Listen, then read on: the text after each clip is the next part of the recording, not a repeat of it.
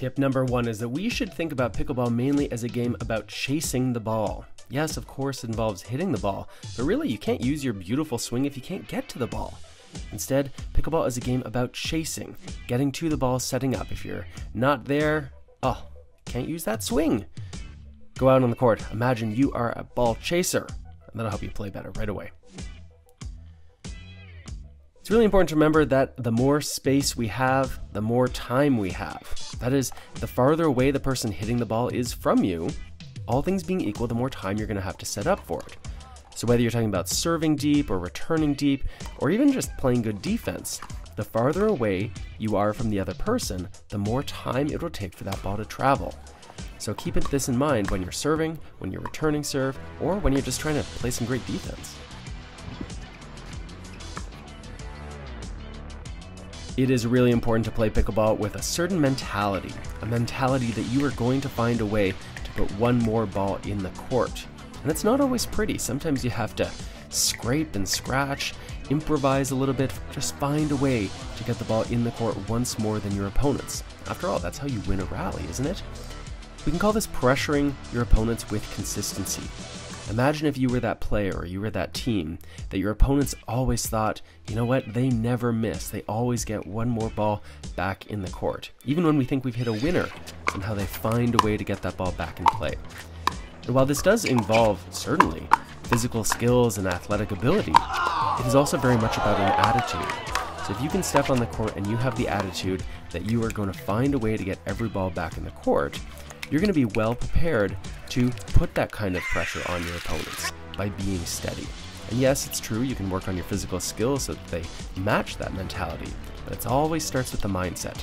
Find a way to put one more ball in the court.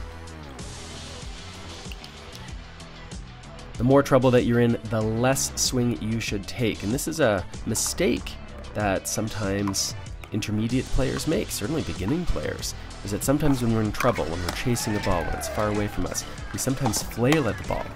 But remember, the more trouble you're in, the harder it's going to be to hit the ball cleanly in the center of your paddle.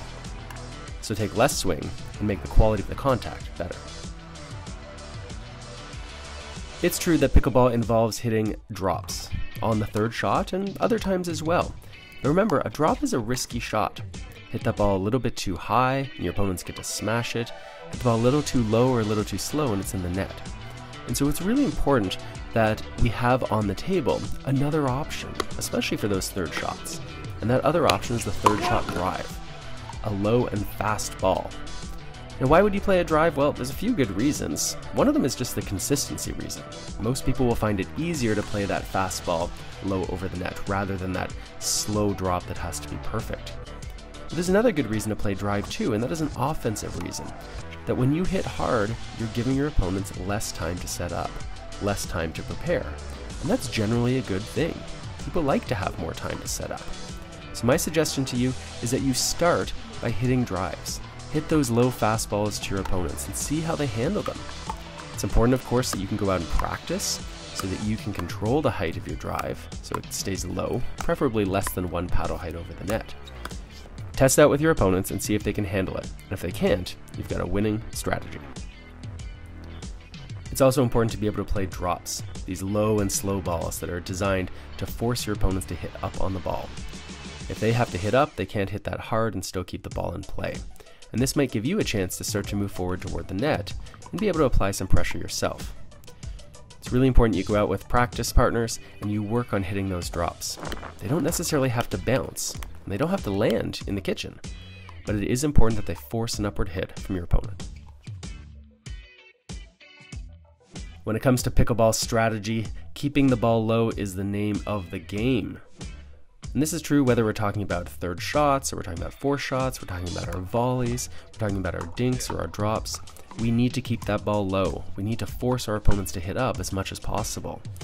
If we give our opponents high balls, they're able to hit on a downward trajectory, and if they can hit down, they can hit hard. So whether we're up near the net or we're in the backcourt, learning to keep that ball low over the net, one paddle height or so, is a really important strategy.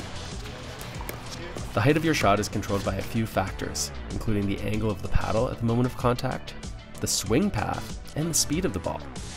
Remember, if you're playing a drop, that ball is likely going to have to have some kind of an arc, The question is, how big will that arc be?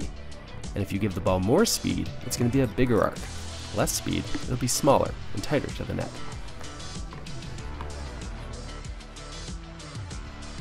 When your opponents fail to keep the ball low, this is the green light for you.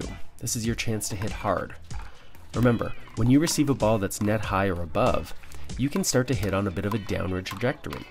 And if you can hit downward into the court, then you can hit the ball fast and still keep it in play. So when you're up at the net and you're getting that high ball, think of this as your opportunity to swing freely, to hit hard, to steal time from your opponents. And it may not win you the point outright, but if you can hit fastballs, it's more likely your opponents are going to struggle and give you something else you can pounce on.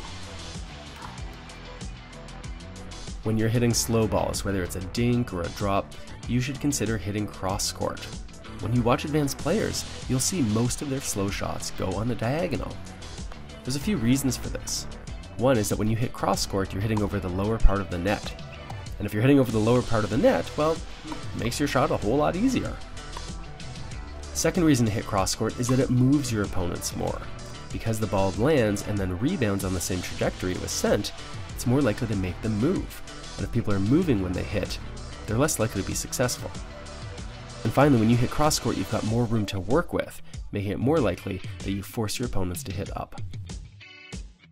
Pickleball is a game and games should be fun, so when you're out there and playing, make sure that you're having a great time. If you're not having fun on the court, well, maybe it's time to take a break maybe it's time to step away for a couple days until you're really hungry to come back out there. Of course, pickleball games, especially if you're a competitive player, can sometimes get intense, and that's alright, but we need to make sure that that intensity doesn't become so overwhelming that we're not enjoying playing pickleball. So, my suggestion to you is keep an eye on your fun factor. If it continues to be fun and you're having a great time, perfect. And if it's not, well, maybe take a little bit of a break, go do something else, and come back when you're ready.